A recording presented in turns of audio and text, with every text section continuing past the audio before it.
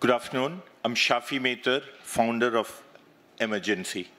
12 years back, my mom had a medical emergency back in India, and my dad and I had to rush her to the hospital in the back of the car, unlike what you would do here of calling a 911.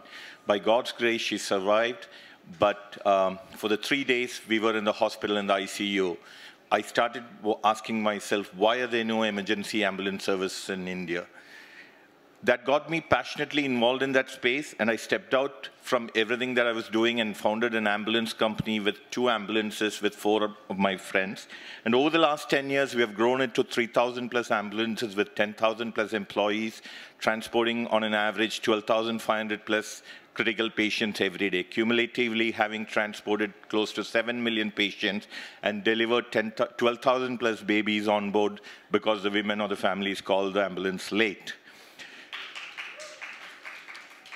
Two years back, I stepped back and looked at this space from outside in. And this is what you see, uh, and this is what I saw. 90% of world population of 6.25 billion people, primarily living in South America, Africa, and Asia, do not have time, access to timely medical care. They do not have a number to call. They don't, if there's a number, nobody answers. If somebody answers, there's uh, no response. With this being the uh, situation, we looked at it, what can we do to address this? The WHO estimates show that more people die every day from lack of timely care than from AIDS, malaria, and TB combined. So the solution we proposed is um, we need a global 911, not literally the number 911, but one global emergency response network. And what we are proposing to do is with one touch alert on your mobile phone, a nearby responder physically come to a, respond to you. How do we do this?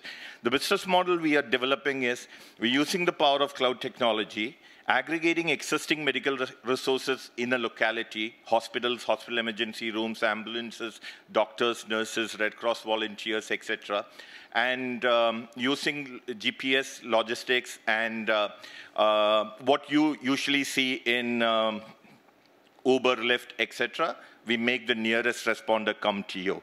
We have also made the uh, business model financially self-sustainable through a fee-for-service and accessible equally to the rich and poor through a cross-subsidy pricing uh, regime. This is a sample screenshot of our app, which is being piloted in India right now. And for this ambitious program, we have a five-step strategy to reach every corner of the world. MUrgency is enrolling the private sector uh, city by city in India, and uh, as we raise more funds, we'll go global. We have partnered with the world's largest three ambulance company, US number one, Europe number one, and Asia number one. We have partnered with Global Red Cross and Red Crescent. Um, we are in discussions with WHO, and we are partnering with the uh, world's largest visa processing company to help travelers. The partners brings in 10,000 ambulances and 50,000 medics in US, 2,000 ambulances and 12,000 medics in um, Europe, and uh, 3,000 ambulances and 15,000 medics in uh, Asia.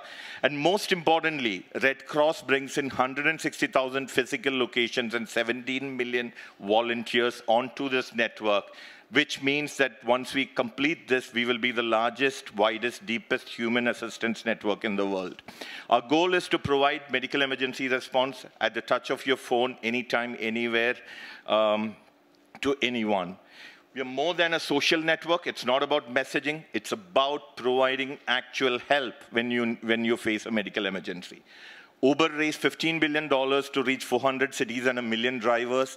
Airbnb spent uh, $3 billion to reach 57,000 cities and 2.3 million listings. In under $25 million in partnership with Red Cross and Red Crescent, we believe that in three years we can be in 160,000 locations and have over 4 million responders across the world responding to save lives. What we offer is, we offer the UN, UN agencies, uh, federal government, state government, city governments, and rural governments two models.